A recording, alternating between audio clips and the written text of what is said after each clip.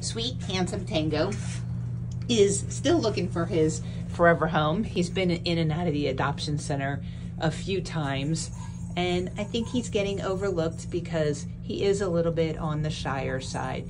But he doesn't mind being held or petted, and he's really very, very nice once he warms up to you.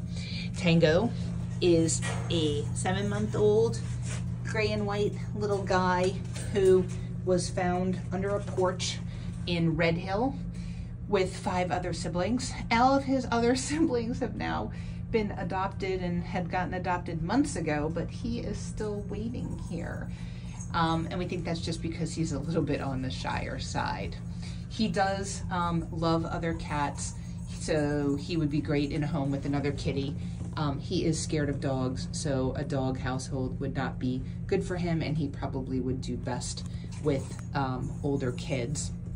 But he's super nice and he's just really, really sweet. And sometimes these shy kitties just get overlooked. But you can see he really is doing just fine. So he's looking at me wondering why I'm talking about him. Tango is already neutered. He's FIV and feline leukemia negative. He's up to date on all of his shots.